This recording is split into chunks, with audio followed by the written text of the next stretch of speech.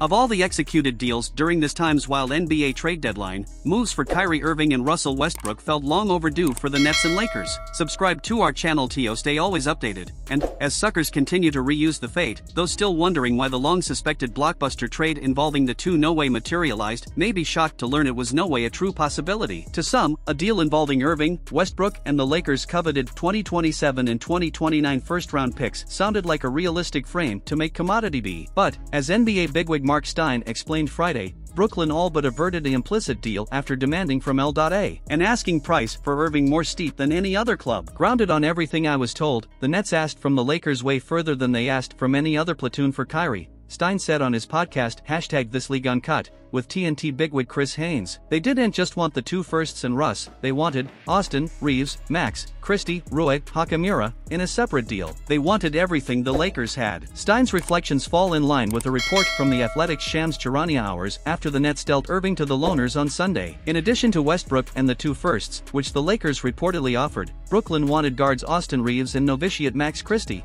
as well as pick barters. Charania's report didn't mention the addition of forward Rui Hachimura, whom L.A traded for on Jan 23 in addresses. Of course, in actuality, the addresses ultimately broke down as Westbrook was moved away and Irving was acquired by the Loners and not the Lakers, his heavily brooded favored wharf spot. Dallas eventually landed Irving in a trade for Spencer Dinwiddie, Dorian Finney-Smith, a 2029 first-round pick and two alternate rounders in 27 and 29. Meanwhile, Westbrook was packed to the Jazz in a multi-team deal that brought Timberwolves guards D'Angelo Russell and Malik Beasley, and forward Jarred Vanderbilt told A. Leave your comment on the video, subscribe to the channel and leave your like because at any time I bring more news from Lakers. Until the next video.